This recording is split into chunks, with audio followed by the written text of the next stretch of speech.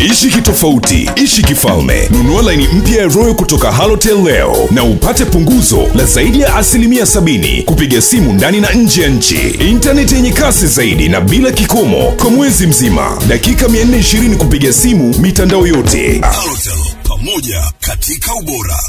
Wanafunzi wa kike wametakiwa kusoma kwa bidii huku wakiwa mstari wa mbele kusema no, kupinga mimba na ndoa za utotoni ili kuweza kufanikisha ndoto zao za baadaye. Kauli hiyo imetolewa na mkurugenzi wa taasisi isiyo ya kiserikali Ajitambue Mwanamke Mwanaidi Kipingu wakati akiongea na wanafunzi wa shule ya sekondari ya wasichana ya St Christina iliyopo mkoani Tanga kwenye siku maalum ya kuhamasisha watoto wa kike kusoma. Wengi wanakatishwa ndoto zao kutokana na mimba na ndoa za utotoni.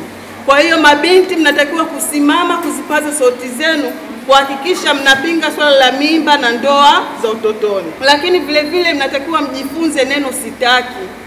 Mabinti wengi wamekuwa wakikatishwa ndoto zao kutokana na mimba na ndoa za utotoni. Unakuta mabinti wengi wana uwezo mkubwa, lakini wanaporudi nyumbani baada ya kufunga shule wanaenda wanaozeshwa, wengine wanapata mimba. Mtu akikufuata, bwana wewe mzuri, mwambie mimi mama yangu akijambia mzuri natosha, subiri nisome nimalize. Baadhi ya wanafunzi wameushukuru uongozi wa shule hiyo kwa kuzialika taasisi hizo kufika shuleni hapo kwa ajili ya kuwapa hamasa ya kusoma kwa ajili ya maendeleo yao. Napenda sana kusema asante kwa sababu ya hichi mlichokifanya.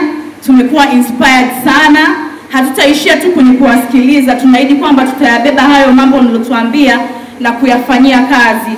Siku nyingine nitakapokuja St. Christina hamtaikuta kama mlivyoiacha hapa. Yale mambo ambayo mlitupa tutakuwa tumeyafanyia kazi. Tusiache kwenye notebooks yale ambayo tume, tumeyasikiliza, lakini zaidi sana tuyabebe, sawa?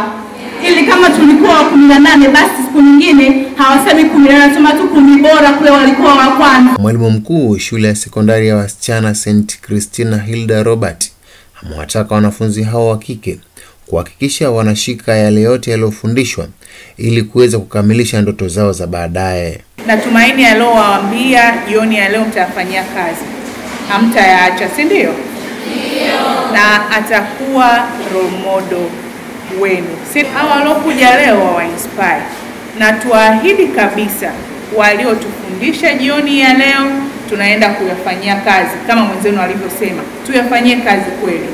Ninawatakia kila la heri, wenye masikio wamesikia na watawafanyia kazi. Zaidi ya wanafunzi wa kike mia mbili wa shule hiyo wamenufaika na uhamasishaji huo ambao utawapa motisha ya kufanya vizuri katika mitihani yao ya baadaye. Nikiripoti kutoka mkoani Tanga, mimi ni Rajab Asmani wa MCL Digital. Subscribe MCL Digital.